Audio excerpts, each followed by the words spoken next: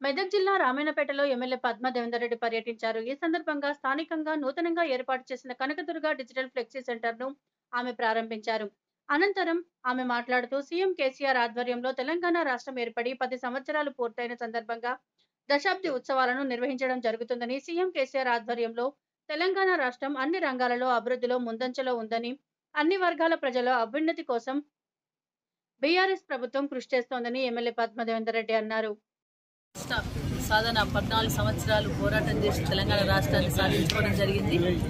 సాధించిన తెలంగాణలో పది సంవత్సరాలుగా మరి గౌరవ కేసీఆర్ గారు అణువణువును పరిశోధించి తెలంగాణ రాష్ట్రంలో ఏ కార్యక్రమాన్ని నిర్వహిస్తే ఏ పథకాన్ని తీసుకొస్తే ప్రజలకు ఉపయోగపడుతున్న ఆలోచన చేసి అనేక పథకాలను అనేక సంక్షేమ అభివృద్ధి కార్యక్రమాలు నిర్వహించడం జరుగుతూ ఉంది. ఈ పది సంవత్సరాలు పూర్తి చేసుకున్న సందర్భంగా తెలంగాణ రాష్ట్రంలో దశాబ్ది ఉత్సవాలను కూడా రేపటి నుండి ప్రారంభం చేసుకుంటా ఉన్నాం.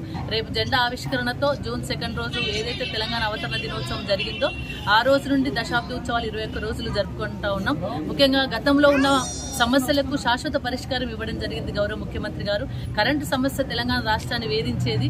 దాంట్లో విద్యుత్ సమస్యను తీర్చుకోవడమే కాకుండా మరి మిగులు విద్యుత్తోని రైతులందరికీ కూడా మరి ఇరవై నాలుగు గంటలు ఉచితంగా కరెంటు ఇవ్వడమే కాకుండా మరి రైతు బంధు రైతు బీమా లాంటి కార్యక్రమాలు కాళేశ్వరం ప్రాజెక్టు ద్వారా పంట పొలాలను తడపడం అంతేకాకుండా మిషన్ కాకతీయ ద్వారా చెరువులు బాగు చేసుకోవడం. గతంలో చెరువులు అంటేనే కనబడకుండా పోయిన సందర్భంలో దాదాపు తెలంగాణలో నలభై ఐదు వేల చెరువులను గుర్తించి వాటి వాటిని స్ట్రెంథన్ చేసుకొని పడ్డ చెనుకు పడ్డట్టు ఒడిసి పట్టుకోవడం దానివల్ల చెరువులు కూడా నీళ్ళతో నిండి ఉన్నాయి కాబట్టి మరి గ్రౌండ్ వాటర్ కూడా లెవెల్ కూడా పెరిగింది.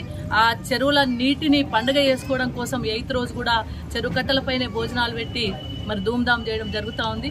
అదేవిధంగా విద్యుత్ సంబంధించి కావచ్చు గొల్లకుర్మ యాదవులకు ఇచ్చిన గొర్రెల సంబంధించి కావచ్చు సంక్షేమ పథకాల గురించి కావచ్చు పెన్షన్ల గురించి కావచ్చు ఇవన్నీ కూడా ప్రజలకు కళ్యాణ లక్ష్మి లాంటి పథకాలు కేసీఆర్కి ఇట్లాంటి పథకాలు మరి ఈ విధంగా ముందుకు తీసుకెళ్తా ఉన్నారు. ఈ వీటన్నిటి మీద కూడా ఈ దశాబ్ది ఉత్సవాల్లో కూర్చుకొని ఆ దశాబ్ది ఉత్సవాల సందర్భంగా వీటన్నిటిని కూడా అవగాహన సదస్సులుగా నివ- నిర్వహించి పండుగ జరుపుకోవడం జరుగుతూ ఉంది అందరూ కూడా దయచేసి పార్టిసిపేట్ కావాలి. మన తెలంగాణ రాష్ట్రం ఏర్పడి పది సంవత్సరాలు అవుతున్న సందర్భంలో ఈ పది సంవత్సరాలు సాధించిన విజయాలను పేదలకు పంచిన ప్రగతిని మరి పల్లె ప్రగతి పట్టణ ప్రగతి లాంటి కార్యక్రమాలను మనం ముందు పెట్టుకొని మరి పండుగ చేసుకోవాల్సిన అవసరం ఉంది. రాబోయే కాలంలో కూడా ఇంకా చేయాల్సిన కార్యక్రమాలు కూడా తప్పకుండా చేసి ప్రజలకు ఇచ్చిన హామీ నిలబెట్టుకుంటాం. జై తెలంగాణ జై